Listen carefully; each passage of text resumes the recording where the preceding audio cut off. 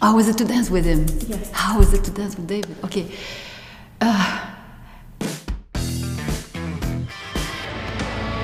In 1988, Bowie danced with La La La's star dancer Louise Lecavalier in this satellite telecast from New York, choreographed by Lock.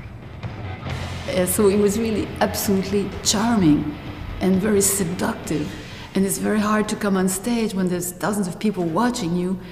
And so they have this person that's at the same time the actor, the singer, and it seems to be like just a human being that's really totally uh, looking at you and liking you very much. Yeah, there was there was certainly this gender thing about him that was known, and and maybe he had he was uh, attracted to the company because there was a little bit of that also, or maybe a lot of that in our work.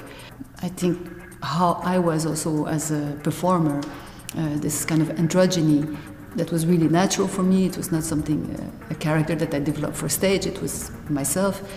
But uh, maybe he recognized a little bit himself in that. Oh, it was really a shock for me when I found out with the news uh, of the death of David Bowie. Uh, once in a while, I, I, was thinking about him and hoping, oh, maybe he's going to show up at some performance somewhere. Or, but now I realize, okay, this is not going to happen anymore. Uh, he, David Bowie, had uh, a beautiful impact in my life. Uh, not because I, I, dreamed of working with a big star. This has no meaning for me. Just because as a person, I really liked him a lot.